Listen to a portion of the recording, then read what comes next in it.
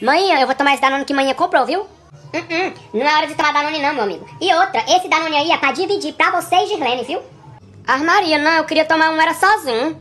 Pois trabalhe e compre, que aí você pode largar até 10 Danone nos peitos que eu não tô nem aí. Deixa eu tomar, vai, mãe.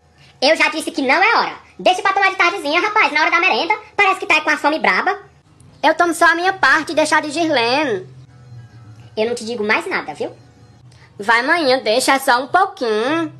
Boca de sandália, boca de sacola das alças arrebentada, boca de tamanco plataforma. Tu não tá escutando eu te dizer que tu não vai tomar Danone agora ou eu estou falando grego, hein? Hum, falando grego, falando grego, sabe falar nem português direito. Como é, menino? Espera bem aí, espera!